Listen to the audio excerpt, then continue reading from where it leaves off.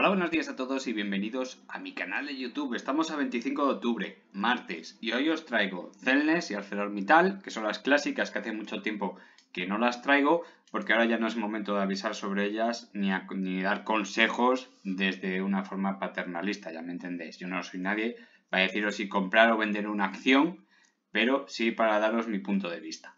Vamos a ver también BBVA y Bankinter, perdón, como en los bancos Global Dominio, por petición del suscriptor que necesita una vista global, y eso significa que necesita mi punto de vista. Repito una vez, una vez más que es solo mi punto de vista, ¿vale? Lo que yo haría o lo que, yo, lo que estoy yo pensando sobre esta empresa. Repsol, porque tengo una suscriptora que, una de dos, o no me está entendiendo o no me quiere entender. Entonces voy a intentar dejar las cosas claras con Repsol, no la vamos a analizar voy a dejar las cosas claras con Repsol, por qué digo lo que digo y si se puede cumplir, qué es lo que podría pasar. Vamos también a eh, ver OHL por petición de otro suscriptor e IAG a ver qué es lo que le está pasando. Pero antes de empezar con el vídeo, permitidme que os aconseje que os suscribáis al canal si no lo habéis hecho ya. Aquí tenéis el botoncito rojo. Si no lo veis, poneros en horizontal y pantalla completa. Activar la campanita y sobre todo darle like, que me ayudáis un montón y lo sabéis.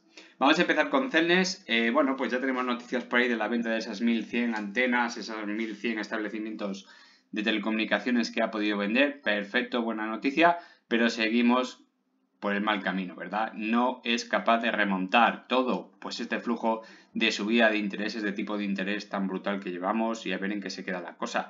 Seguramente, bueno, pues ya sabéis que en Inglaterra, por ejemplo, donde Celnes tiene muchas de las participaciones, ha dicho el primer ministro, el nuevo primer ministro, que hay que atarse el cinturón porque vienen momentos muy duros. Ya veremos a qué se refiere, ¿no? Pero bueno, a mí me preocupa mucho más la deuda de Celnes que las situaciones en los países donde participa. Bastante, bastante más. Pero es un dato a tener en cuenta, ¿eh? Es un dato a tener en cuenta.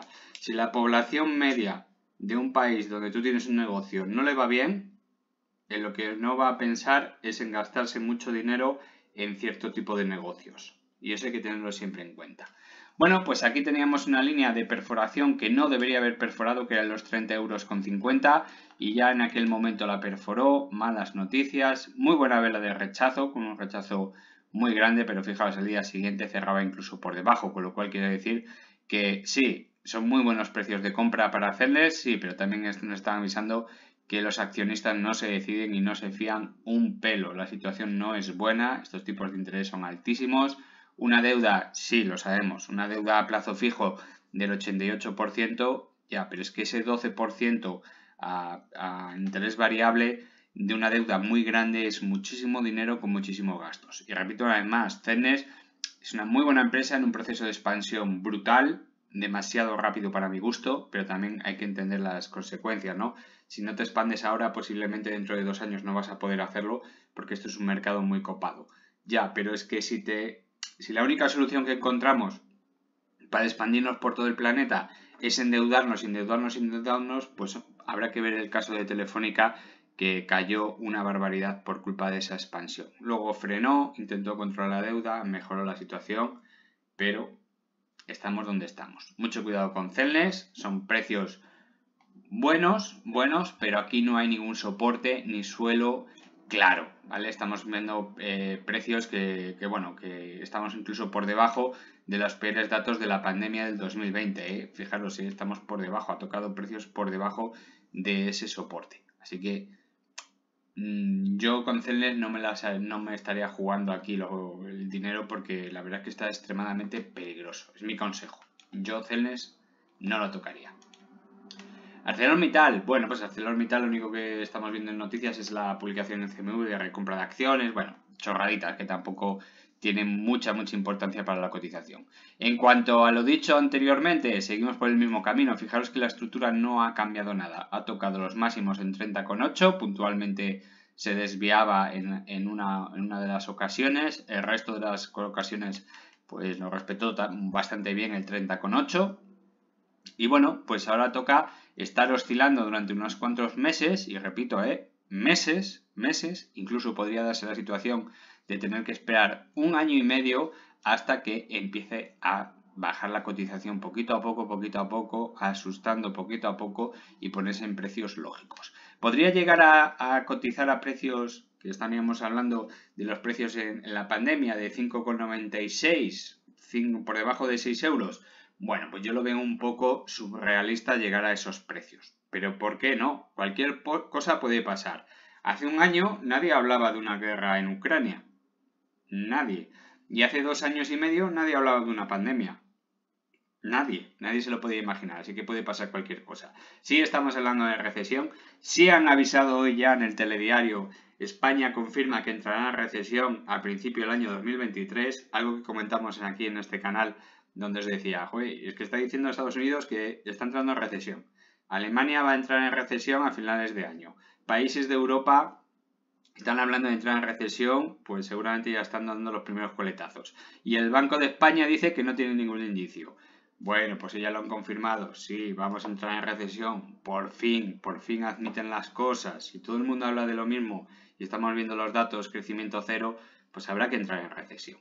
Y esto, lo de entrar en recesión, ni es bueno ni es malo, es otro ciclo económico. Y estos ciclos económicos hacen que ArcelorMittal, que depende directamente de lo que se gaste la industria en su propio negocio, bueno, pues hará que los precios del acero bajen y por lo tanto la capitalización de ArcelorMittal bajará. ¿Hasta dónde? Bueno, pues a mí un precio muy lógico, muy, muy lógico, serían 12 euros por acción. Y a partir de ahí para abajo, bueno, pues puntualmente podría haber toques hasta los 10 euros, 9 y medio, 8 y medio, no lo sé. Eso habría que verlo dentro de un año y medio, un año, un año y medio, 8 meses, donde podríamos ver ya ese tipo de velas. Por lo demás, no tocar ArcelorMittal, ¿vale? Voy a dejar las cosas claras porque hay gente que no, me entiende o no me quiere entender. Vamos con el VA, que una vez que ha roto esta triangulación simétrica muy bonita, la verdad que es muy pequeña, pero muy bonita, pues bueno, está cambiando bastante su cotización. Decíamos aquí teníamos una divergencia alcista, faltaba por confirmar, pues ha cumplido porque tenemos mínimos hacia abajo y mínimos en el MAC creciente, en el RSI también lo tenéis. Teníamos aquí una divergencia oculta donde teníamos máximos crecientes y aquí tenemos unos, unos, máximos también decrecientes. Y bueno, pues se ha roto este tipo de divergencia, con lo cual queda anulada, la borramos de aquí y vemos cómo, bueno, pues el comportamiento está siendo muy bueno. Fijaros en las medias. Ya sabéis que yo soy solo de pintar dos medias, pero bueno, como a un suscriptor le ha gustado y le ha hecho mucha ilusión verlas, ¿no? Pues tengo la de 20, la de 50, la de 100 y la de 200. La roja es la de 20, la naranja es la de 50, que es la clásica que siempre traigo, siempre son medias exponenciales. La azul clarito o la azul celeste, esta de aquí sería la de 100 sesiones y esta azul oscura la de 200 sesiones, siempre en exponencial.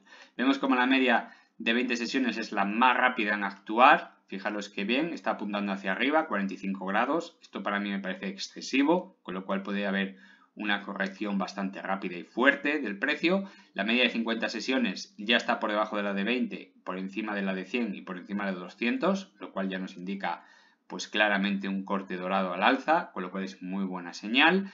Y tenemos la media de 200 sesiones plana y la de 100 que ya está apuntando ligeramente hacia arriba. Esto significa que podría venir un periodo de crecimiento para BVA e intentar atacar máximos. Ojalá que sea así, porque la verdad que el BVA es un buen banco con sus ganancias, su recompra de acciones, dividendo creciendo, pero históricamente, históricamente, si nos fijamos en el precio de la cotización, bueno, pues tiene repuntes muy grandes, pero luego las caídas lógicas que vienen acompañadas. Así que yo de los bancos no me fío un pelo. Se está comportando muy bien en el corto plazo y yo soy de los que opinan que, a no ser que haya unos resultados extraordinariamente gigantescos, si alcanza el 100%, el 100% de la subida anterior, es decir, si vuelve a tocar los 6 euros, yo, desde mi punto de vista, yo saldría. Saldría y esperaría a ver qué es lo que sucede, porque puntualmente se podría ir a 6 euros y medio, pero tiene más probabilidades de seguir bajando que de ir a buscar los 6 euros e intentar superar esa barrera. Desde mi punto de vista, ¿eh? Y yo ya sabéis que de los bancos tengo muy mala opinión.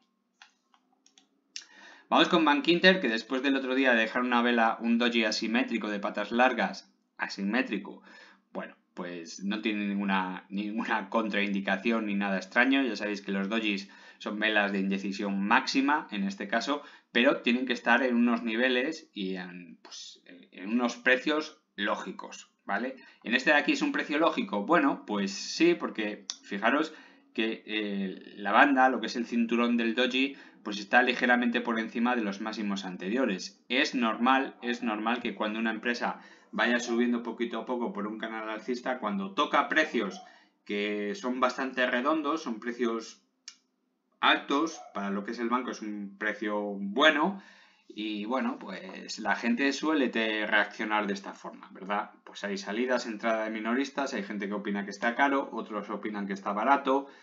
Yo viendo los resultados del otro día, a mí, por mí puede seguir creciendo por este canal alcista perfectamente un añito más. Todo dependerá de los demás trimestres, por supuesto que sí. Pero viendo lo que ha pasado en este trimestre, puede seguir en este canal alcista durante bastante tiempo. También es lógico que si tiene una reacción demasiado violenta y se sale por encima del canal, sería momento de deshacer posición. No toda, aquí cada uno ya con su forma de actuar, que todas son buenas. Si supera los 6,70 euros en esta zona de aquí y se sitúa en 6,90 por ejemplo, incluso podría llegar hasta los 7 euros, es momento de deshacer posiciones porque normalmente esas reacciones suelen ser muy violentas que le llevarían hasta los 5 euros, 5 euros con 10, 5 euros con 0,5, que es donde estaría la parte baja del canal. Y lo digo porque históricamente ya lo he hecho en un par de ocasiones. Fijaros qué violencia, qué reacción más violenta en tres semanas. Pierde directamente desde los 5,85 hasta los 3,98, es decir, prácticamente un euro con 60, un poquito más de un euro con 60 sobre unos precios máximos en ese momento de 5,85. Es una auténtica salvajada. Así que bueno, pues el comportamiento del banco es excepcionalmente bueno, banco sólido, con buen crecimiento, todos los indicadores, tanto las medias, las medias viejas que llaman, o las, viejas, o las medias lentas, que son las de 100 y 200 sesiones, muy paralelas, paralelas al canal, dentro del canal, perfecto, es que el, comportamiento es de libro. Yo si tuviese que escribir un libro, este ejemplo va para adentro. Así que ya sabéis. Bank Inter se está acercando ya, está superando el tercio, perdón, el 75% del canal alcista, es el momento ya de intentar un ataque a la parte superior o volver otra vez a la parte del 50% un par de semanas más antes de volver al ataque. Pero lo que está claro es que tiene unas ganas locas de ir a la parte superior, ¿eh? eso no se lo quita a nadie. Global Dominion, bueno, me pedía un suscriptor, necesito un punto de vista objetivo. Yo nunca he dado un punto de vista objetivo porque yo no puedo ser una persona objetiva, dado que soy una persona. Una máquina sí puede ser objetiva, y lo pongo en duda, pero una persona nunca va a ser objetiva, casi nunca. Bueno, Global Dominio, buena empresa, donde en el 2021 pues bate unos récords de beneficios estupendo y maravilloso, donde triplica los del 2020, crecimiento sostenible, control de la deuda, maravilloso. Eh, por ejemplo, eh, en el 2021 genera 42,2 millones de beneficio, que es triplicar el 2020, con una caja neta desde el 2016, que ya es caja neta, ¿eh? Estamos hablando de 6 años con una caja neta positiva. Estupendo. Pero es que además, con 42 millones de beneficio, resulta que genera una caja neta de 52. ¿De dónde sacan esos 10 millones de más? Bueno, pues en una pequeña eh, reducción del patrimonio perfectamente de 10 millones, con lo cual no pasa nada. Pero generar 52 millones de caja neta, de caja, perdón, está un dato muy bueno, muy bueno. Y con una deuda pequeña, controlada, ¿verdad? Nos vamos a ver aquí. Esta es la, noticia que me busqué en su momento en el 2021, donde te ven todos los datos del economista.es, maravilloso, todos los datos buenos. Y bueno, pues aquí tenemos los datos de la caja de la deuda neta financiera.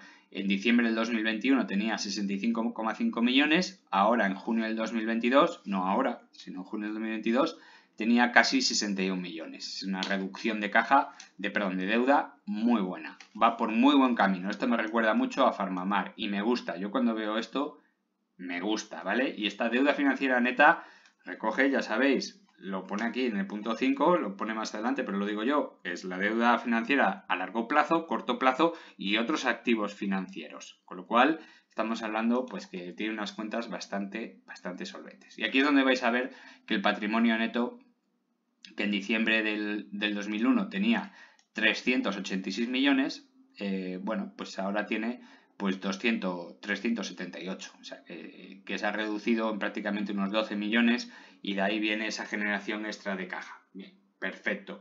Muy bien, de todas formas el negocio va viento en popa. ¿Qué ocurre cuando aparece el primer semestre? Bueno, pues en el primer semestre de este año, pues los resultados un pelín más flojo. Fijaros que de pasar de ganar 42 millones de beneficio, pues ahora en 6 meses ha obtenido 16,8, ¿vale? Atribuido al resultado comparable serían equivalente a 19 millones, pero bueno, son 16,8, por lo cual es bastante algo más complicado de igualar los beneficios que obtuvieron el año anterior. Y eso siempre, y eso siempre es un arma arrojadiza. Aunque la empresa sea mejor que en el 2021, si no consigues buenos beneficios, fijaros en Farmamar, fijaros en Fluidra, os van a dar palos. Y eso siempre pasa y eso siempre va a pasar. ¿Vale? Y bueno, por lo que estamos viendo en el gráfico a largo plazo, crecimiento sostenido, pues una corrección brutal, acompañada, bueno, se iba a quedar aquí la corrección, pero vino el dichoso COVID, una corrección tremenda, e incremento de puesta en marcha del dividendo estupendo, crecimiento un poquito por debajo de los máximos anteriores, nunca es buena señal, nunca lo es, y en su momento ya, ya marcábamos divergencias bajistas que luego se cumplieron. Bien, en cuanto al gráfico, pues ya vemos que las correcciones prácticamente llegaron hasta el 38.2 y no es así por culpa del dividendo. Si quitásemos el dividendo y corrigiésemos la, gráfica con el Fibonacci, veríamos que se quedó clavado en, este, en este valor de aquí, en el 38.2. Con lo cual podemos dar por finalizada la corrección. Bueno, eh, uno de los síntomas sería ese, tocar el 38.2 siempre es bueno para la cotización. Podría ser. De todas formas, no tenemos una divergencia alcista en el MAC, al no ser por este punto y por este punto, que solo son dos, y vemos aquí una divergencia alcista. Con lo cual, por un lado, tenemos una corrección muy sana hasta el 38.2. Tenemos unos beneficios buenos, pero no mejores que el año anterior. ¿Vale? Cuidado con eso. Tenemos una posición en caja estupenda, crecimiento de caja estupendo, reducción de deuda excepcional, poca deuda, pero Cuidado, los beneficios no son más que los del año anterior. Y eso siempre va a lastrar la cotización. Repito, pongo como ejemplo Farmamar, porque me da por ahí, donde, bueno, pues le ingresaron ciento no sé cuántos millones por un contrato y eso valió para los siguientes trimestres darle palos, palos, palos, palos, que no gana lo mismo y aquí haciendo vídeos collo como un tonto diciendo, oiga, no tenga en cuenta usted los ingresos extraordinarios y no me los compare con los recurrentes. Los ingresos que se cobran todos los meses están creciendo entre un 7 y un 11%. Lo otro es un extraordinario. Bueno, pues aquí ha pasado lo mismo, ¿no? Aquí puede pasar lo mismo. Te pueden dar bastantes palos por culpa de, esa pequeña diferencia entre los beneficios. En cuanto al técnico de corto, corto plazo, fíjate en las medias. Ya se habían abierto. ¿Vale? Pasaba lo mismo que en esta zona de aquí o lo que está pasando aquí. Se había abierto las medias, ¿vale? Esto cuando hay esta separación simétrica entre medias y el precio por debajo, aquí hay un peligro. ¿Cuál es el peligro? Que va a haber un rebote. Puede ser un rebote verdadero o un rebote de gato muerto. En este caso el primer rebote fue de gato muerto, pero el segundo tiene pinta, parece ser que es verdadero. ¿Y por qué lo digo? Porque fijaros, en el primer rebote de gato muerto, ¿dónde se para la cotización? En la media de 50 sesiones. Eso marca pues cierta, vamos a decirlo así, falsedad, ¿vale? Cuando el precio se para en la media de 20 sesiones o de 50, está marcando debilidad, no tiene fuerza. Cuando el precio se para entre la media de 50 sesiones y 200 sesiones, es lo normal. Sí, ya sé que coincide la de 100 aquí, pero no tiene nada que ver la de 100, ¿vale? Os pondría mil ejemplos. Si se para en esta zona de aquí, movimiento normal. ¿Dónde se está parando ahora el precio? Pues fijaros, se está parando casi casi en la zona intermedia entre la de 200 y de 100, con lo cual ya me da un poquito más de confianza esta subida, un poquito más. Aparte que tenemos mínimos crecientes, máximos crecientes, pues todavía le faltan 2-3 semanas para empezar ya a dibujar figuras, pero esto ya tiene pinta de que está cambiando la situación y todo va a depender seguramente de los resultados del tercer trimestre si los publican y bueno, ¿y cómo va controlando esa deuda? Si se sigue bajando la deuda y los beneficios siguen aumentando, pues esperar a que toque otra vez máximos. No hay, no hay otro camino. Repsol, no lo voy a analizar, que la traje ayer, creo recordar. Bueno, y me escribe una, compañera que Lourdes, que, no me tenía que haber hecho caso porque Repsol desde que la estaba esperando a 100, a, 100, a, perdón, a 11 euros y que no tocó los 11 euros y que entonces ya no deja más que subir, no sé qué historia me contó, digo, mira, yo no tengo ni idea de lo que he dicho en otros vídeos, pero en mi vida te voy a recomendar que compres Repsol a 11 euros. Nunca. Y estando ahora a 13, no te lo voy a, aconsejar. Sí te la podía haber aconsejado en esta zona de aquí, cuando estaba a 8, a 9, a 7, sí, con precios objetivos de...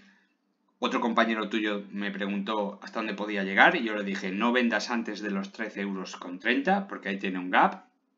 Pero si te quieres esperar un poquito más, espérate hasta los 14.50, 14.80, los pasó de sobra. Pero yo aconsejarte o decirte que compras esa 11, en la vida. Te estás confundiendo, pero muchísimo. Yo no te voy a aconsejar nunca comprar Repsol a estos precios. Ni loco. Y te voy a demostrar por qué. Porque ponemos el gráfico en mensual.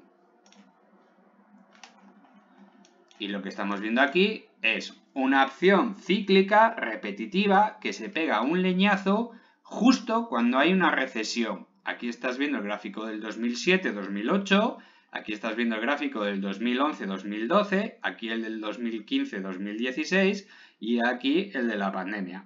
¿Qué quieres? ¿Que te aconseje que compres aquí arriba? Ni de broma. Te lo voy a dejar claro porque creo que no me estás entendiendo. Repsol va a ser una de las empresas que se va a pegar un leñazo que cualquier día de estos vas a poder comprarla por debajo de 6 euros. En mi vida te voy a aconsejar yo comprar Repsol a 11, a 12 o a 13 que te esperes, que te estés quieta, no compres Repsol, no la compres, espérate a que baje, que se va a pegar un leñazo, que ya te está avisando el Banco de España que entramos en recesión. En el 2023. Recesión. Va acompañada de leche muy gorda en Repsol. Para dejarlo claro, es que algunas personas es que o no se enteran o no me quieren entender que es que se va a pegar un leñazo muy gordo. Recesión. Entrando ya a Alemania, primero, antes que nosotros, que ya es decir, es que viene una recesión muy gorda. Pero que mucho. Espérate, guarda el dinero, no compre Repsol, compra otra cosa, hay muchas acciones. Pero sería muchísimo mejor que no comprases nada, que te quedases con el dinero. Y dentro de un año, año y medio o dos años, vas y compras Repsol que nos está picando el dinero en el bolsillo. Que eso hay que quitárselo de la cabeza. El de tener que tener el dinero siempre invertido hay que quitárselo de la cabeza. No, el dinero en el colchón. Y cuando veas oportunidades muy grandes, inviertes. Porque es que comprar Repsol a 11 euros ahora mismo, o a 12 o a 13, es un suicidio, por no decir otra cosa. ¿Vale? Voy a decir suicidio por no decir un insulto. ¿Vale? No compré Repsol ahora que se va a pegar un leñazo muy gordo. Una, dos, tres, cuatro veces en los últimos 14 años. ¿Qué va a pasar ahora? Pues que a lo mejor se tira, como en esta ocasión de aquí, 1, 2, 3, 4, 5, 6, 7, 8, 9, 10, 11, 12, 13, 14, 15 meses dando vueltas a unos precios de locos para luego pegarse un leñazo. Estaros quietos. ¿Podéis aguantar 6, 8 meses, 10 meses sin comprar Resol? Sí que podéis. Hacerme caso. Ya caerá. Tranquilidad. Hasta ahí podemos leer. OHL, ¿qué le ha pasado a OHL? Bueno, pues al final ha tapado el gap que decíamos. Que madre mía lo que le ha costado tapar este gap de aquí. Precios mínimos históricos, increíble. Y todo pues por una noticia. La cuenta en recta 4 eh, bueno, pues es el analista Ángel Pérez, analista financiero. OHL cancela la venta de la participación de Chung. OHL ha informado a través de la CNMV que cancela la venta de su participación del 25% que tiene en el Hospital Universitario de Montreal, Chung, el grupo BBGI, por no cumplir las condiciones pactadas. El precio se, eh, se había pactado, era de 65 millones de euros, 60,7 millones de euros netos de intereses y otros conceptos. La valoración que hace este analista me parece acertadísima. Noticia negativa que supone un frenazo en, su estrategia de captación de fondos y reducción de deuda antes de que se produzca el step up del cupón de sus bonos, previsto para el 2023. Si bien es cierto que todavía podría alcanzar un acuerdo de venta por otro inversor, ¿vale? Reiteramos la prudencia en el valor, pendientes de la generación de caja operativa de manera recurrente y la reducción, refinanciación de la deuda bruta. Bueno, este último párrafo es algo que yo os llevo diciendo desde hace bastantes meses, yo diría que más de un año, ¿vale? Cualquier empresa, no HL, cualquier empresa. Las deudas se pagan con el beneficio obtenido. La caja tiene que crecer. No se puede pagar los negocios con el dinero de la caja sin tener beneficios. Es un suicidio financiero. No se puede crecer de esa forma. Este señor dice, reiteramos la prudencia en el valor, pendientes de la generación de caja operativa de manera recurrente. ¿Y esto qué significa? A ojos de personas que no tengan que entender esto, que si no hay beneficio trimestre a trimestre durante varios trimestres, no hay nada que hacer con UHL. Nada. Esto lo llevo yo diciendo desde que Jesucristo perdió la sandalia. Solo tuvo un trimestre. Después de 16 trimestres de pérdidas, lo único que va a hacer la empresa es bajar. Y cuando obtiene uno con beneficios, pues claro, el valor se dispara porque hay muchísimo interés. Pero al siguiente volvió a pérdidas. ¿Y eso qué significa? Pues que irá otra vez para abajo. Eso genera muchísima desconfianza en el inversor.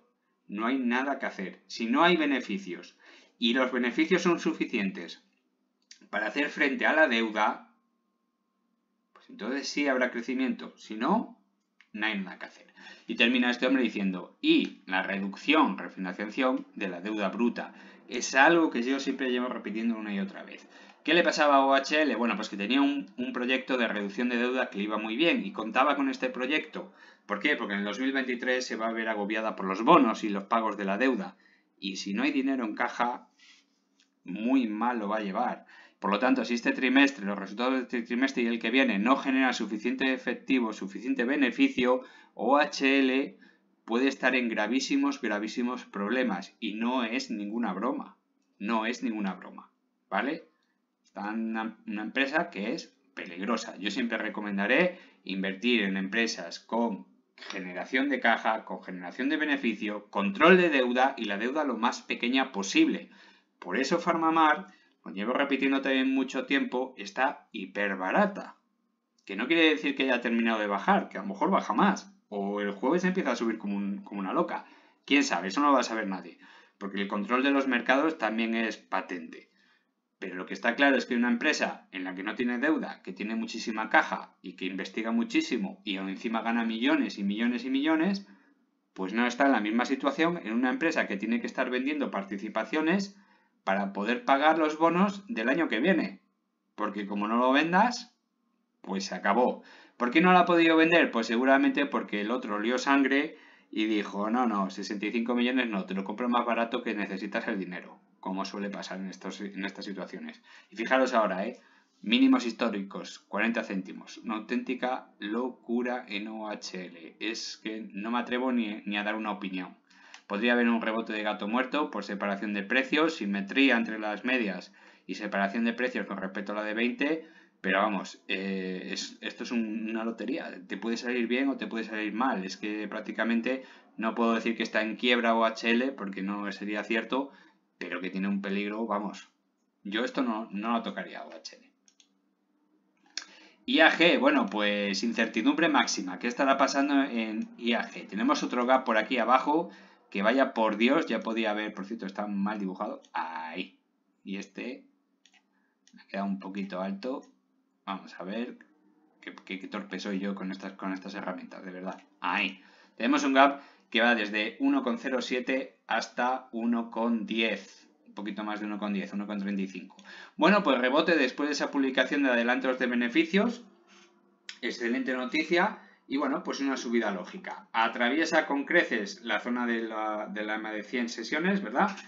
Y bueno, como os decía antes, no es la EMA lo que, lo que para el freno, lo que, lo que para el freno, lo que pone freno a la cotización. Lo que pone freno a la cotización es la zona intermedia entre la de 200 y la de 50, que como veis cae por aquí, ¿vale? A veces coincide que está la de 100 y mucha gente pues se sorprende y dice, se ha parado la de 100.